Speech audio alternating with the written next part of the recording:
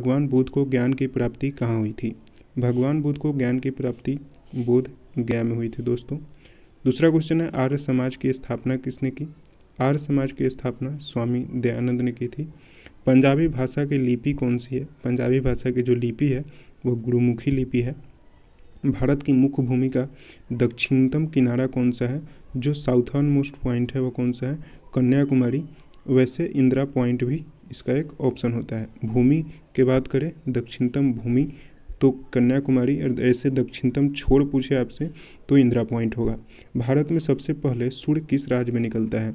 सूर्य जो सबसे पहले निकलेगा दोस्तों, अरुणाचल प्रदेश में। इसको याद रखने का मैं आपको ट्रिक बताता हूँ। मान लीजिए यह जो है, भारत ऐसे है, ठीक? तो इधर ईस्ट होता है, ठीक?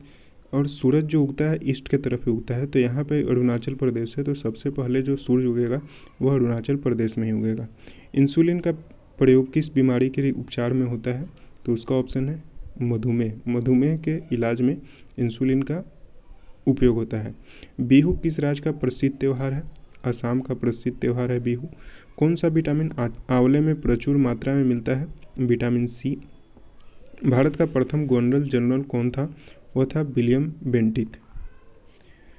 नेक्स्ट बात करते हैं, कागज़ का आविष्कार किस देश में हुआ? चीन में कागज़ का आविष्कार हुआ है। गौतम बुद्ध का बचपन का नाम क्या था? सिद्धार्थ। भारत में सशस्त्र बलों का सर्वोच्च सेनापति कौन होता है? तो सर्वोच्च सेनापति होता है राष्ट्रपति। रतौंधी किस विटामिन की कमी से होता है? तो यह होता है विटामिन ए की कमी से।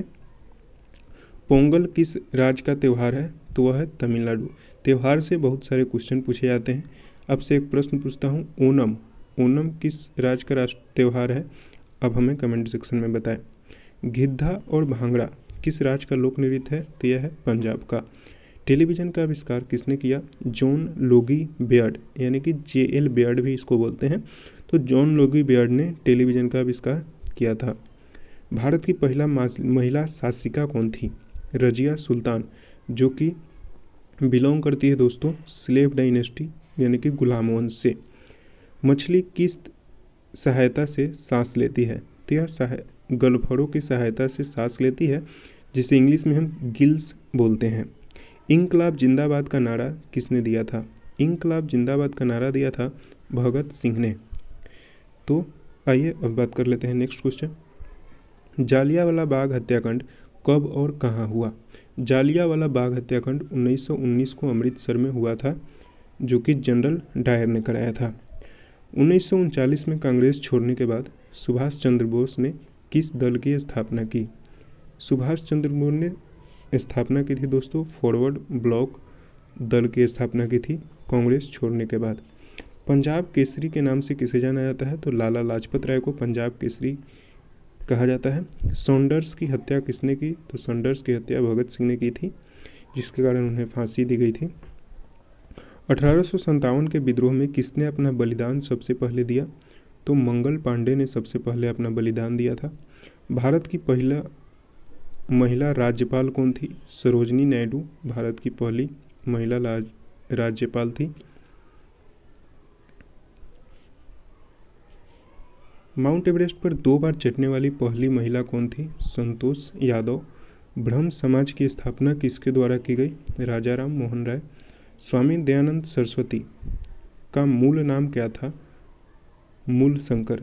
मूल नाम क्या था? तो मूल शंकर, ऐसे भी आप याद रखें। वेदों की ओर लौटो। का नारा किसने दिया था? दयानंद सरस्वती ने। और दयानंद सरस्वती का नाम क्या था? मूल शंकर। रामकृष्ण मिशन रामकृष्ण मिशन की स्थापना किसने की? स्वामी विवेकानंद ने।